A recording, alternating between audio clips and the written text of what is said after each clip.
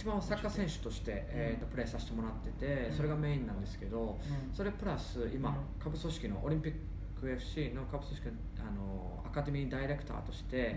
えーコーチを見たりあとは選手を、えーセレクションしたりだとかあとはチームの運営の方にも携わったりだとかあとはツアーの方も含め他の、えーと海外との提携も含め、えーやらさせていただいてますあの球際の強さ、えー激しさっていうのは日本と比べて全然違う部分ですかね。あとはコミュニケーション能力の高さはやっぱり日本人よりもオーストラリア人やっぱ海外の選手の方がやっぱ高いなっていうのは感じてます。技術面でいうとやっぱり日本人の方が細かいところは監督、まあ、指示も含めては日本人の方がいいかなと思うんですけど年々やっぱりこっちの国もそれに劣らないぐらい、えーと技術的なものも、えー戦術的なものも高いレベルであの、まあ、進歩してると僕は思います。普段の会話ではもちろん最初1年目とかはちょっと苦労した部分はあるんですけど今はもう完全にロッカールームやったりあの細かい戦術的なものの時は、まあ、サッカーですけどちょっと難しいなっていうのは2年目3年目。今はちょっとねもう簡単に理解できるようになりましたけど細かいところですね。え英語の中でも細かい部分があの、まあ、サッカーを通じてミーティングなりあとは、えー回答しなあかんことやったりとかあとは時間がなくても理解しなあかん時っていうような、まあ、ハーフタイムやったりとか監督からの指示とかっていうのは最初は苦労しました。もちろん入りはサッカーうまけりゃ、多分全然いけると思います、うん。ただでも試合中練習中の苦しい時やったりとか、ここを理解しなあかん時とかっていう時に、特に大きい試合とかになると、そこを理解せずにプレーした時に正直経験しないとわからないとは思います。もちろん今もあの多分勉強っていう意味で英語は多分あんまり良くなくて、うん。絶対に書いたりとか、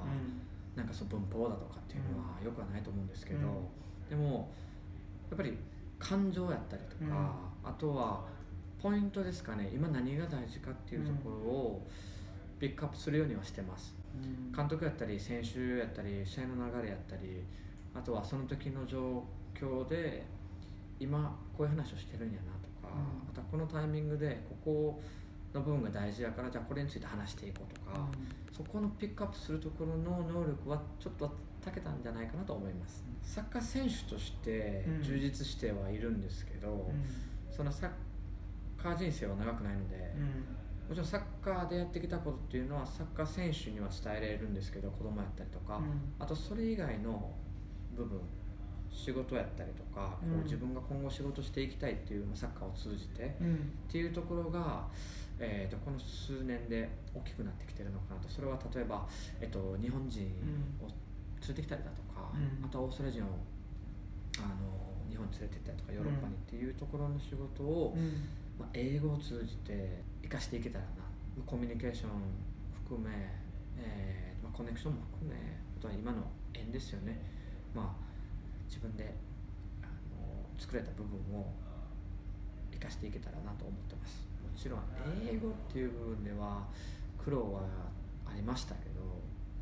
今は complain だったりとかそういうところないしは子供にどうやってうまく伝えるとかあとは今のこの感情をどうやってうまくきれいに伝えるかっていうところが伝えることはできるんですけどもうちょっと細かく、えー感情を踏まえて含めてっていうところがまだまだこれからの課題プラス大変やったことですかね。もちろん英語は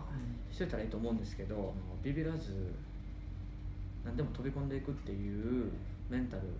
絶対につながっていくかな。逃げてしまうとどうしても向こうも追いかけてくることはないので自分からミスしてもいいので行くっていうのは当に昔も今も変わらず僕は今心がけてることでミスしてもいいから逃げずに飛び込んでいく。コミュニケーションですかね。